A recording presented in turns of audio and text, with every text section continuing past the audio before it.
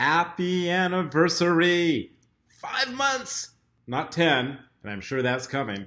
Five months since the fire, January 15th. And look at this, it's 98 degrees. My air conditioning is not working very well in my rental house.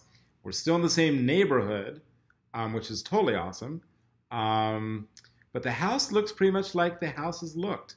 Not a lot of change. Uh, lots of uh, intellectual movements. I hear that the engineer has gone to the city of Los Angeles um, a couple times.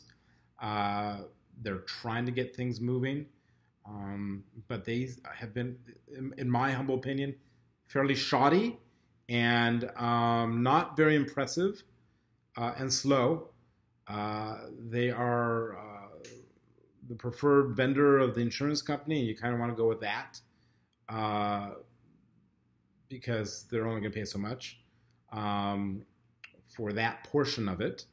Uh, we will then come in and supplement it with my general contractor. I've got uh, a uh, an architect I may have mentioned before who works for me solely, has nothing to do with the rebuild because we only need the architect for changes, of which we have, and we're kind of excited about that.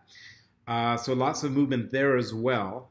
Uh, I hope to bring those changes, um, drafts to neighbors shortly so they can sign off on that before I go to the HOA and get the HOA sign off and then go back to the city with after receiving approval from the rebuild, which we haven't yet received, and go back and get their approval, which will take some time and move forward. We haven't demoed yet because we're waiting for the for um, uh, insurance to give us the go ahead. If they don't give us the go ahead, they can say, well, uh, we still want to dispute some items or go back and forth with you on certain things that you're claiming.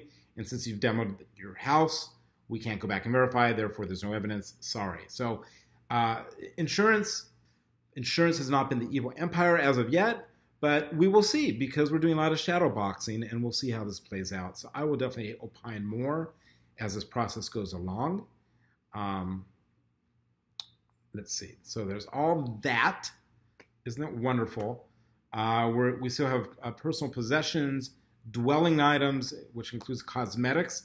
Cosmetics are things like the type of cabinetry and appliances, chandeliers, lighting that you have, the special types, and um, and that windows, right? So that is a is a list I haven't seen but have discussed and understand that's a large number from Team Levitt.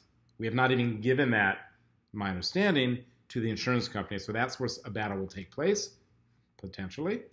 And then we've got personal property items. Oh, sorry, within the home. So you've you've got those items which are cosmetics, and then you've got uh, the, the math component of the rebuild, which should not be contentious at all. There's only so much surface area with respect to drywall, with respect to how much um, piping there's going to need to be, and HVAC systems. So that will just be the math component.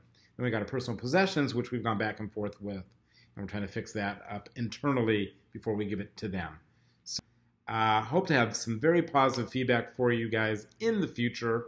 I hope to have very positive feedback for me in the future of moving this moving this forward. Until then, have a um, great week, month, whatever that is, until we get some more posts going. And hopefully, they'll become more positive shortly, progressive, not to be political. And um, happy Father's Day. Oh, and if you happen to know of anybody who's considering buying or selling a house, just interested in getting evaluations, I know a great realtor who can come by and walk you through the process. Again, have a great weekend. Bye bye.